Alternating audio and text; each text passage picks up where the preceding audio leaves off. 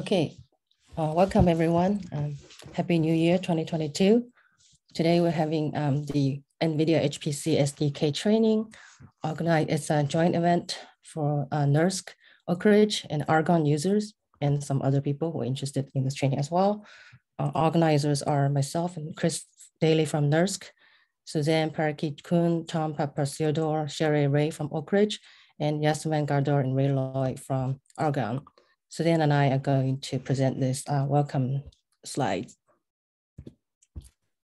First of all, um, this NVIDIA HPC SDK is the comprehensive suite Fortran C, C++ development tools and libraries.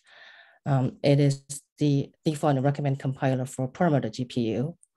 Um, this hands-on training is provided by NVIDIA. Um, thank you very much, Jeff Larkin, Brad Leback, Max Katz, Matt Stack, and Robert Searles. Um, the presenters also helps with all this preparation for the hands-on exercise for us. The topics of this training would include GPU architecture, HPC software developer considerations, the standard language acceleration libraries, OpenACC, OpenMP, OpenMP offload, CUDA, and profiling tools. The first, some of the logistics. Uh, everyone is muted upon joining. And I would like you to please change your name in Zoom session, the first name and last name. So it will help us to know who you are. You can click the participants on bottom and then move next to your name. You can rename, um, find your name and rename it. As I mentioned in the chat, uh, the captions and view full transcripts are enabled. You can save the transcripts if you like as well. You can turn on and off uh, the captions. And uh, if you haven't joined Slack yet, please join in. I'll post the link again in the Zoom if you um, uh, join the Zoom session late. So we prefer use Slack instead of Zoom for questions. It's threaded and also uh, recorded. So we'll be posting the slides um, in the presentations channel in Slack, and we'll post-process videos and publish them um, as well later. We have hands-on exercises. There's a GitHub repo. Uh, we will also post it again in chat or in Slack for you. Uh, NERSC users or use Perlmutter, Oak Ridge users will use Summit, and other users, including a, ALCF users will uh, use the NERSC training account. You should have received another email for um, applying for one. And we also prepared a survey. Please help us answering the survey question after the training. Uh, quick agenda. This is day one today. Um, I don't need to repeat the talks and everything. I just want to mention we have a break at 10.30 for 15 minutes. And then the um, at the end of the, the day, there's a big um, demo lab uh, break session. People, you, um, you would go to the GitHub and start to work on your own for a little bit.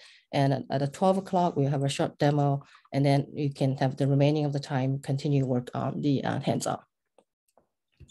Uh, similar for day two, um, again with break and the lab and demo at the end. Day two have open ACC, OpenMP, and CUDA. Um, just to repeat, day one is the stdpar and um, profiling. So some quick Perlmutter usage info. Um, existing users have already been added to the NTrain 4 project. This is purely for the purpose of uh, accessing the compute node reservation for today and tomorrow. Uh, you, you don't have to use 4 outside of the reservation hours. And the training accounts, uh, if you're non-user, the training account on Perlmutter expires on January 18th. You need to add these two flags to use the reservation and hours are 10.30 to 1.30 p.m. Um, on each day. It's uh, one hour beyond the official end of the training event like I said, outside the reservations, remove this reservation dash dash reservation flag, and also you could change to whichever um, account you belong to and add dash G to it to, to your SBatch flag.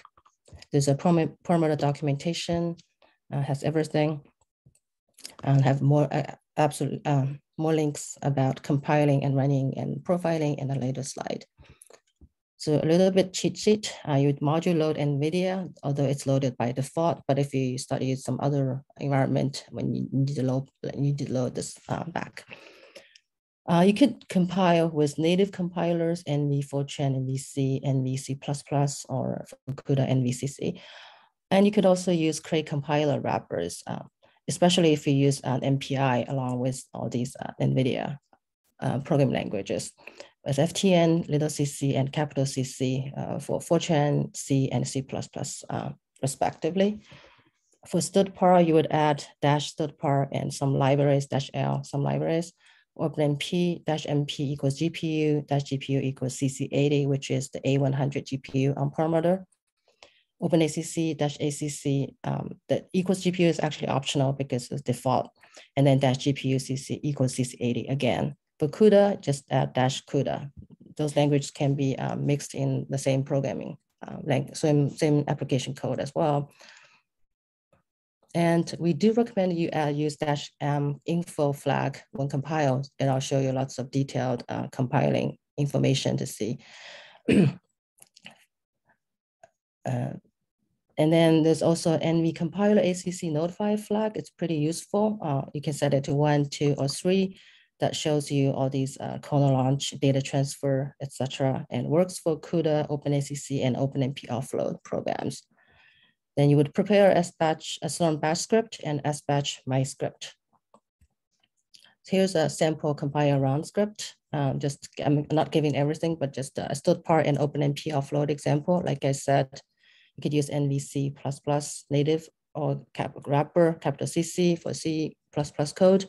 Could use NV Fortran or FTN for a Fortran code and uh, respect, respective flags here as well. And then here is the uh, sample batch script. Um, today we have reservation nodes. Um, we um, like you to use SBatch instead of interactive um, salloc, as, um, so everybody can have a turn uh, to use these nodes. These are a few of the flags here, um, number of nodes. You have to see GPU, num, um, the, the, features, number of nodes, number of GPU, number of CPU, etc. And here's a, uh, actually this is updated. Um, let's look at here. So some of the uh, compilation uh, parameters links are here, running jobs. Uh, this is updated as of last night. So if you've been looking uh, through the parameter uh, information, you go to the Perlmutter webpage and you would be able to find the running jobs section as well. For Nsight systems, we, it's another link here, and then you would run with NSYS profile that says stats equal true instead of uh, in, in front of your executable. We do recommend to install NX, which name is uh, and no, no stands for no machine. It uh, greatly improves X forwarding when using GUI tool, uh, tools. You have uh, instruction here. So this is very useful for uh, profiling tools today. If you don't have a time to install this yet, uh, you could do it afterwards. Um, it's and there's another added um, feature added advantage for this is that it's it's sort of is similar to screen, so it remembers where you are. It even if your internet connection drops off, you logs out or log in again, the session is still there for you um, as where you left it off. So I'm going to um, pass on to Suzanne to pre present on the summit information. Thank you, Helen. Uh, okay, so for the summit information, you're going to run with your user account ID, but we have a reservation that goes from the beginning to the end of this training. So today you would add b sub minus u NVIDIA SDK1. And then tomorrow, same, same deal, the reservation lasts the duration of the training, but it's NVIDIA SDK2. Uh, to load the NVHPC module, it is not default, so you'll have to module load NVHPC 21.9. My cheat sheet is very similar to Helen's. We also recommend you compile with the M info flag. Uh, there's the flags for uh, enabling OpenMP and OpenACC. There are there is a wealth of information about these compilers and compiler docs, and there's the link. Um, we have an example batch script. You probably you won't have to use this cheat sheet because all of these things are in the Git repo uh, that, that NVIDIA has prepared for you. And then you of course would submit your batch scripts with bsub, your batch script.lfs, but those are all provided for you in the hands-on and I suppose most of you, since you're users, already know these things. Next slide.